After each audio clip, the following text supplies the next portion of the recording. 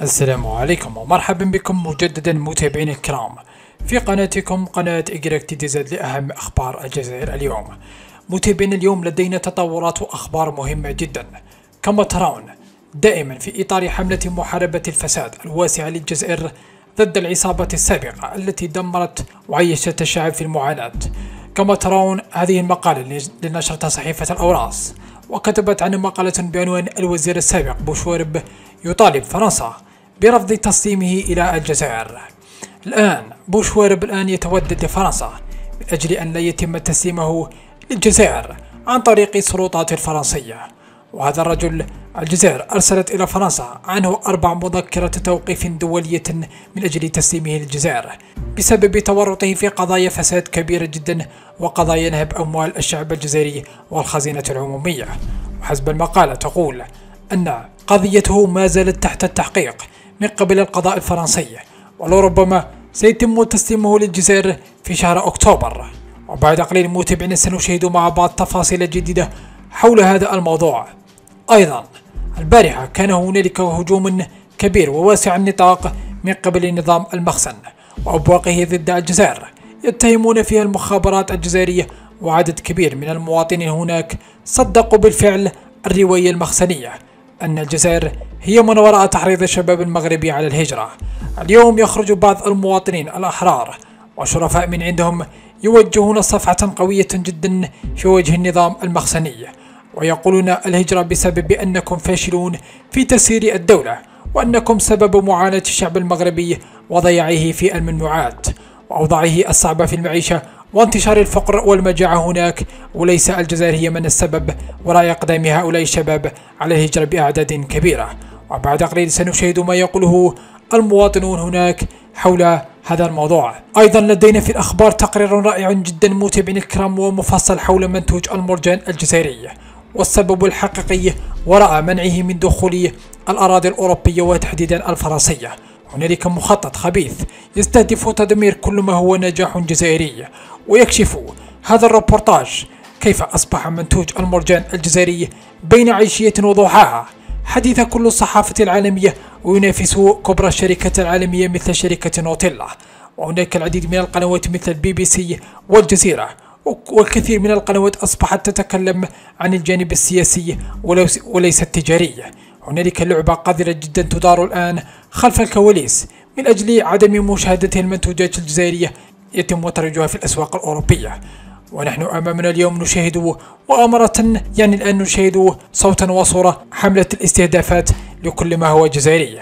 كما شاهدنا محاربة الغرب للبطلة الجزائرية إيما خليف في الأولمبياد السابقة قبل أشهر من الآن وقبل منتوج المرجان.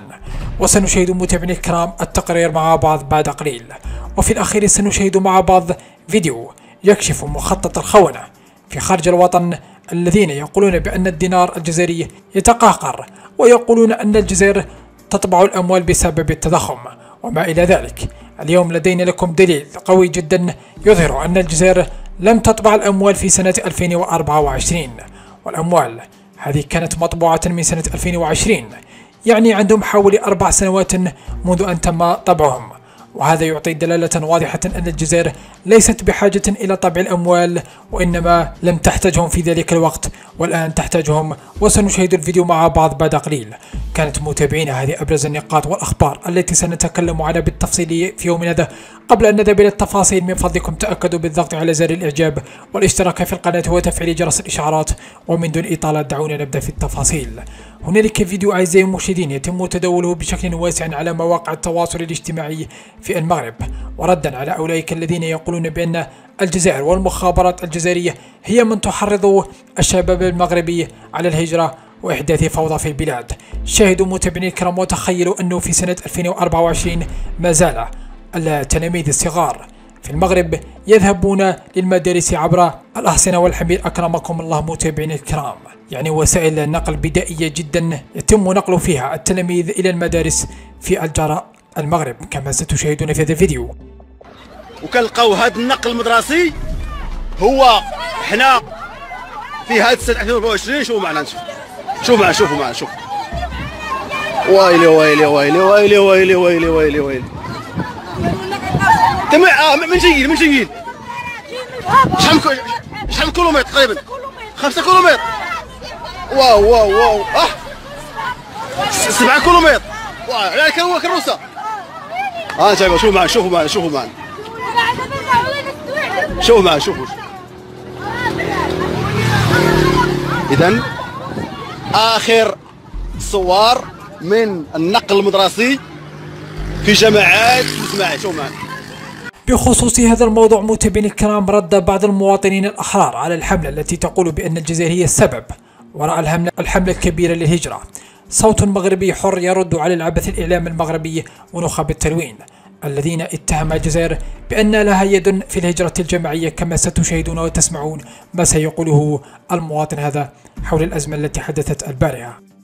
صافي دابا ما لقيتو فين تلصقوها لصقتوها في الجزائر. لا كيروجوا دوك التصاور وهاد التصاور اللي الفوق وحقيقيين. بلا ما يبقى بنادم لا جابهم بورما ولا غوانتانامو. السيدة تعرف فاش ولدها مشى هرسوا ليه التليفون وحرقوا ليه الحوايج ديالو في الأرض وضربوه. صافي. ما نبقاو نغطاو بالغربان. آه على الجزائر. وحنا تفكينا مع الحكومة ديالنا هنا. انت تغادي تجي تهضر على الجزائر. وافقين عاد بعدا. هما حداك. ولد بلادك يلا هو المسؤول. وتفاهم معاه تمشي للجزائر. لا هما راه الحرام آه هما السبب في هادشي كامل. وافقي بعدا. مع المسؤولين ديالك نتايا. باش تلقى معاهم الحل اللي ما داروا حتى حاجة من هادشي كامل عاد نوض انت هضر على الأخرين وعلى هادوك وعلى أيضا هنالك مواطنة أخرى متابعين الكرام تخرج في فيديو وتقول الحقيقة وتكشف العياشة اللي عندهم عقدة نفسية من الجزائر كما ستشاهدون وتسمعون في هذا الفيديو. العياش البقهور المدلول؟ آه راك الجزائر. عندكم عقدة نفسية من اتجاه الجزائر؟ وديما كنقولها. أنا ماشي كنطبل الجزائر أنا كنقول الواقع تاع المغاربة تاع العياشة الحاقدين ولا عزاء للحاقدين.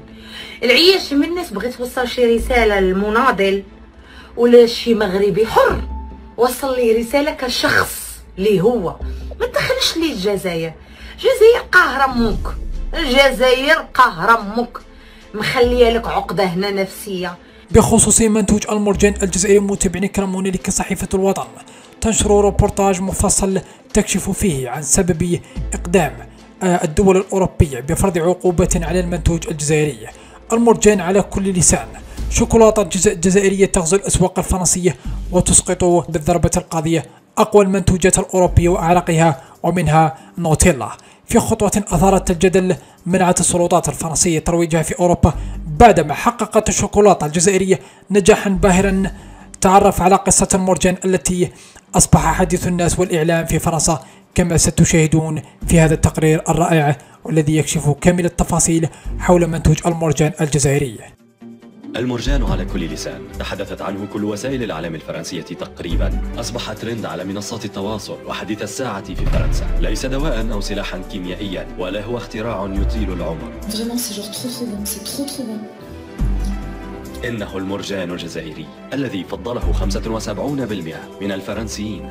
على بقية الماركات العالمية. شوكولاتة البندق القابلة للطلي تلقى رواجا كبيرا في الجزائر منذ العام 2021 تغزو أسواق فرنسا وأوروبا وتنافس أكبر منتوجاتها وأعرقها. نوتيلا العلامة الإيطالية الشهيرة تكبدت ضربة قاضية. انهارت مبيعات الشركة ولم تصمد أمام الاجتياح الكبير للعلامة الجزائرية. طعمها لا يقاوم وسعرها خيالي. هكذا يقول هؤلاء الذين جاءوا لانتظار حصتهم من المرجان. رغم قرار السلطات الفرنسية حظر استيراد المنتج وتوزيعه في البلاد بدعوى عدم استيفاء الشروط القانونية لترويج منتجات الحليب الجزائري في أوروبا. في خبر آخر متابعينا الكرام وفيما يخص بآخر تطورات الحرب الروسية الأوكرانية هنالك الرئيس الروسي فلاديمير بوتين يعاين سلاح جديد ومتطور وهذا السلاح يعتبر سلاح المسيرات.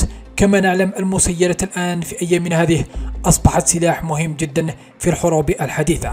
الرئيس بوتين يتفقد نماذج من الطائرات المسيرة في إحدى الشركات الروسية بمدينة سانت بطرسبرغ الروسية كما تشاهدون في هذا الفيديو. دائما فيما يخص بأخبار آه، الجيش الروسي متابعين الكرام هنالك أسلحة يمتلكها الجيش الروسي والجيش الأمريكي عاجز تقليد روسيا في إنتاج هذه الصواريخ.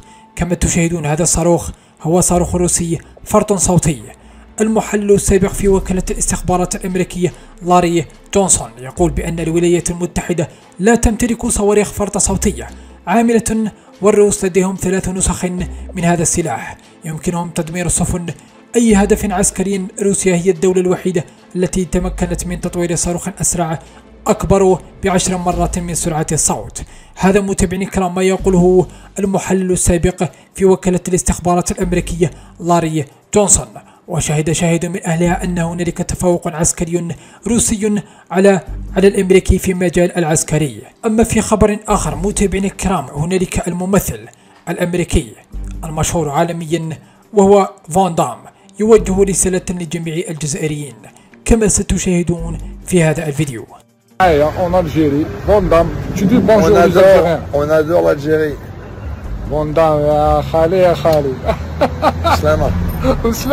أعزائي المشاهدين في آخر التطورات.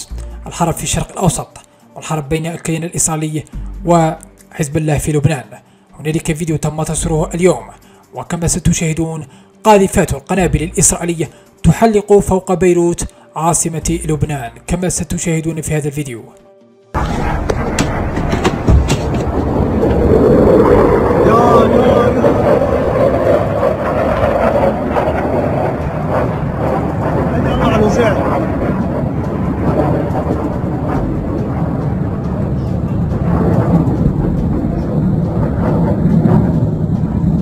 الآن متابعينا الكرام دعونا نشاهد السبب الحقيقي وراء انتشار إشاعات أن الجزائر تقوم بطباعة الأموال بسبب أزمة التضخم وهذا ليس أمرا صحيح لأن الأموال تم طباعها في سنة 2020 وليست في سنة 2024 كما ستشاهدون ما يقول هذا المواطن في هذا الفيديو بالدليل. السلام عليكم خوتي.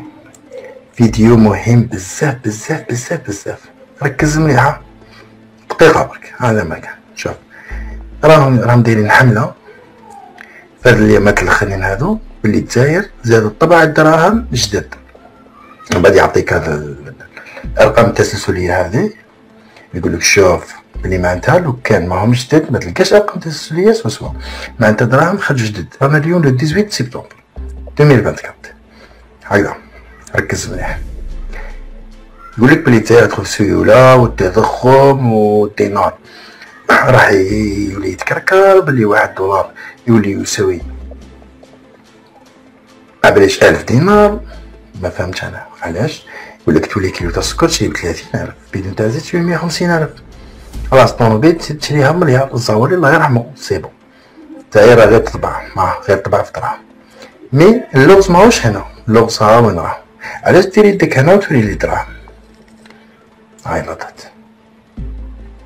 ركز مليح لو 5 جويي 2020 هاولي كامل لو 5 جويي 2020 أوكي معناه الدراهم هذو عندهم ربع سنين وشهرين و13 يوم ما خدموش هذا ما كان كان في البنكة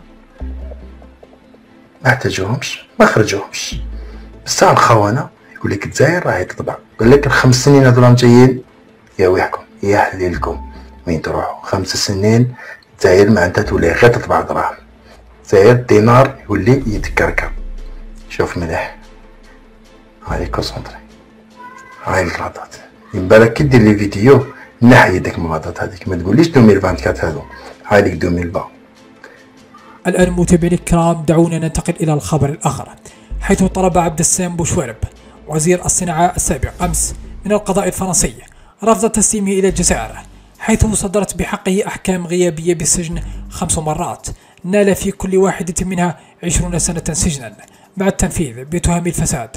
وكشفت وكالة الأنباء الفرنسية أن محكمة الاستئناف في إكس أن بروفانس ستبت حكمها في 9 أكتوبر المقبل بعد تقديم السلطات الجزائرية طلبا رسميا لترحيل بوشوارب. محامي بوشوارب بنجامين بوهبوت ناشد القضاء الفرنسي بعدم الموافقة على ترحيله مدعيا أن هذه الأحكام لا تتوافق مع المعايير الدولية.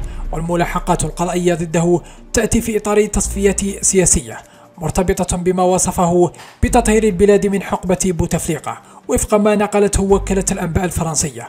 وفي هذا السياق ذاته أضاف المصدر ذاته أن النيابة العامة طلبت تأجيل القرار لتوحيد معالجة جميع طلبات التسليم في جلسة واحدة.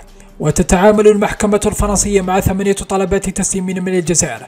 ثلاثة منها تتعلق بفتح ملاحقات قضائية وخمسة لتنفيذ أحكام بالسجن تصل إلى عشرون عاما لكل منها بالإضافة إلى غرامة مالية ومصادرة ممتلكاته بتهم الفساد والرشوة وتضارب المصالح واختلاس الأموال العامة الفضائح المالية لم تغب عن بوشوارب فقد كشفت آه، صحيفة لوتون السويسرية سابقا أن القضاء السويسري جمد حسابا بنكيا يمتلكه بوشوارب في جنيف يحوي مبلغا بقيمة 1.7 مليون يورو يشتبه في أنها من عائدات الفساد بعد طلب من الجزائر. وفق الصحيفة ذاتها التي اطلعت على الملف فقد حددت السلطات الجزائرية 27 تحويلا بين عامي 2012 و 2016 بقيمة إجمالية قدرها 31 مليون دولار وربما تكون التحويلات مرتبطة بهذه العقود. بالإضافة إلى إنشاء شركة أوفوشور في بنما في عام 2015 للسماح للوزير بوشورب بفتح حساب في سويسرا لنقل 700 ألف يورو من لوكسمبورغ إليه. وبهذا نكون أعزائي المشاهدين قد وصلنا إلى نهاية الفيديو. كانت متابعين هذه أبرز النقاط والأخبار التي تكلمنا عنها بالتفصيل في يوم من هذا. إن أعجبكم الفيديو من فضلكم تأكدوا بالضغط على زر الإعجاب والاشتراك في القناة وتفعيل جرس الإشعارات وسألقاكم في فيديو قادم إن شاء الله. والسلام عليكم ورحمة الله تعالى وبركاته.